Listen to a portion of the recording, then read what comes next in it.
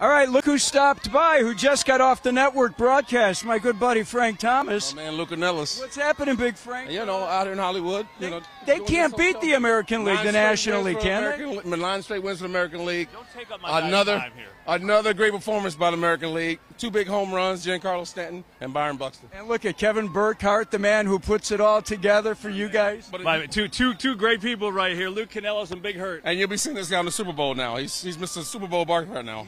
Number one play-by-play guy for Fox. Congratulations. We were just talking about Willson Contreras, Big Frank and I, before uh, we came back. We ran a bite. Contreras told me after the game that a bunch of players on the National League would like to see him in their uniform. I can't stand the fact that the, the Cubs are going to let this guy go potentially. I'm shocked they would do that too. It starts up the middle. This guy's young, athletic, can hit.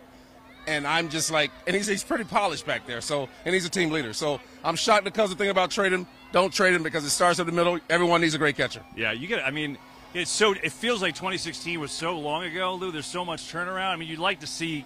He's so good. Keep that building block, but I don't know, man. Doesn't feel like that's going to happen. Stranger things have happened. Nice job, guys. Thanks, Lou. Great to see you guys Good on the see you, my friend. broadcast. Thanks for.